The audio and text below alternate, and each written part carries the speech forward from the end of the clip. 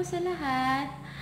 At ngayong, at ngayong araw na to guys, merong magbibigay sa atin ng word of wisdom para sa mga nakakaramdam ng kalungkutan, pagkabigo, ah, meron po siyang sasabihin sa atin.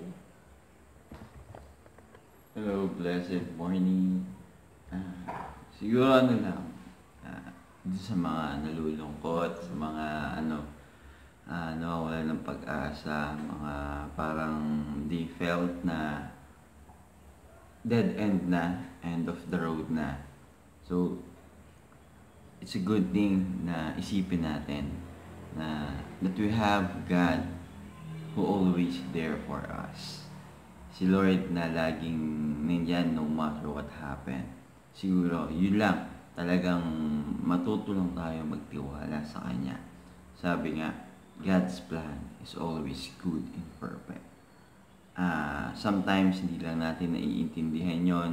Sometimes, ah, pag nandun tayo sa situation na yon, hindi natin maisip yung mga bagay na yon. Just learn to trust God's plan and hindi niya tayo pababayaan. Sabi nga natin, dun nga sa mga sa mga story sa Bible, 'di ba? Ang daming ang daming prophet, madaming nagpo-follow kay Jesus na naka, nakaram, nakaranas ng mga challenges na 'yon. Pero hindi sila nag-stop. Hindi sila hindi sila nawalan pag-asa. One of those is si ano, si si Job, 'di ba? Nawala yung family niya, nawala yung kabuhayan niya, nawala yung mga anak niya. But nagkaroon tas nagkaroon pa siya ng matinding sakit at yung asawa niya na natitira na lamang sa kanya, iniwanan pa siya. But God never fail us.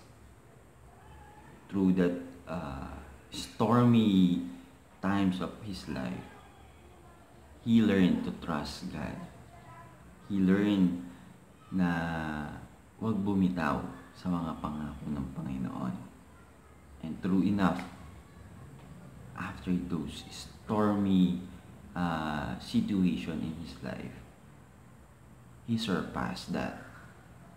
At namuhay siya ng sagana, mapayapa.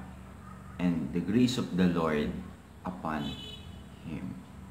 So tayo din, madami tayong mga challenges, madaming mga bagay na nawaw- nawala sa, minsan nawawala sa atin, nawala sa nawala sa possession natin. Pero may ipinapalit ang Panginoon. Mas higit pa. So, be grateful, be blessed, and be happy because God is always with us. Yun guys, um, marami sa ating nakakaranas ng minsan nalulungkot tayo, bakit, bakit ganito, sinasabi, tinatanong natin sa sarili natin, ba't ganito nangyayari, dapat hindi ganito, dapat nagdadasal naman ako palagi, bakit ganun, huwag yung questionin si Lord kasi um, sa lahat ng nangyayari sa inyo ngayon, sa lahat ng um, pinagdadaanan nyo ngayon, merong merong reason si God kung bakit nangyayari yan.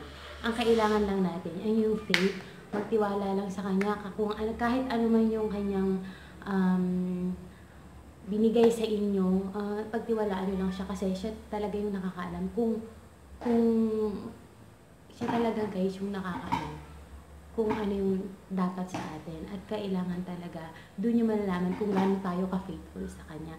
So yung mga nalulungkot dyan, ah, mas maraming blessing na dumadating sa inyo, ah, mas maraming dapat ah mas mara- mas marami dapat tayong isipin na blessing kaysa yung mga pinagdadaanan natin ngayon.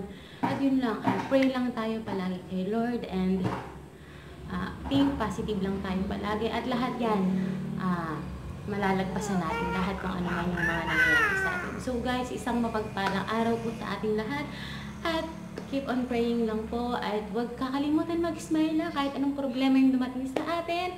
At yun lang po is have a wonderful day po sa ating lahat. See you po on my next video. Bye!